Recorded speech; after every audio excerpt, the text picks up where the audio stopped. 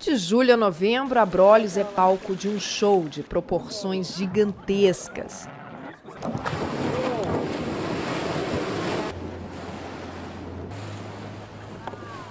As baleias jubarte migram para estas águas para acasalar e amamentar seus filhotes.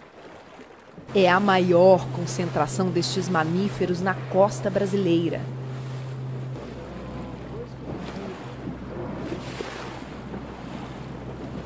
Henrico Marcovaldi, um dos fundadores do Instituto Baleia Jubarte, fala de momentos memoráveis com estes gigantes. Aqui você estava a que distância?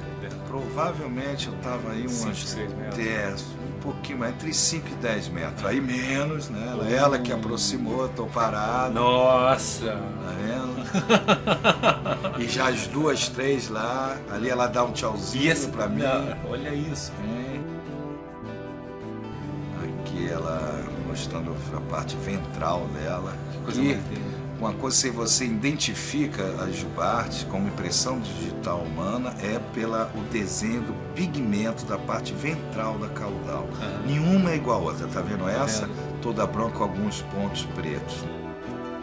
No Brasil é proibido mergulhar com as jubartes. Apesar de dóceis, são animais selvagens e podem causar sérios danos aos que se arriscam.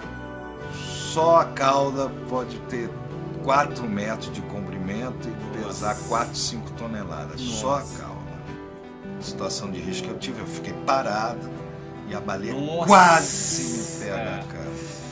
Quase. Ah. Então, precisa estar atento.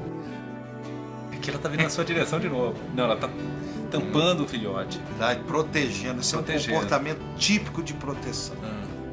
E estes filhotes que hoje desfrutam das águas temperadas do Brasil nem imaginam que sua história começou aqui mesmo, há um ano atrás. Então as baleias são baianas de verdade, né?